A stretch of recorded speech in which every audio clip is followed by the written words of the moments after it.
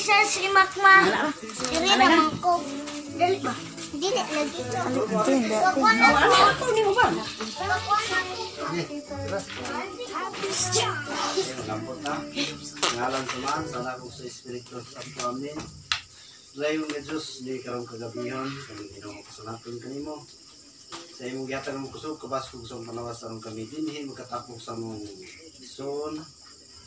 Ban buktong anak na babae nga nagsaulog karon sa ika katugsi katuig sa sumaran sa iyang adlaw nga tawhan.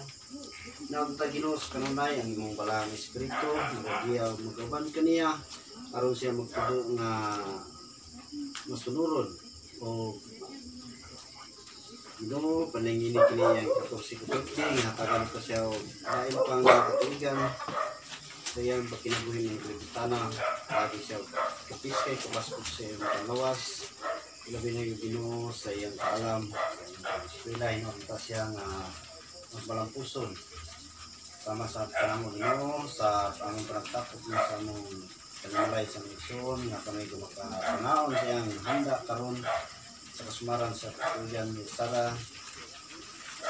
Salamat po sa Ginoo sa mga kamot nga gipay nini ang sa mga grasya na kamot ng Ginoo.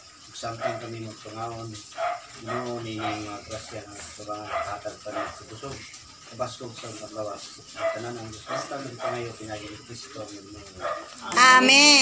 Happy birthday. Happy birthday. Happy birthday to you. Happy birthday. Happy birthday. Happy birthday.